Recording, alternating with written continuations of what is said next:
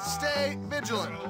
How's it going? I feel trapped. I'm busy. Is my name Abby? I Hey, look at me. I will There must be a mistake somewhere. I've got more important things to worry about. How do you do? Stay vigilant.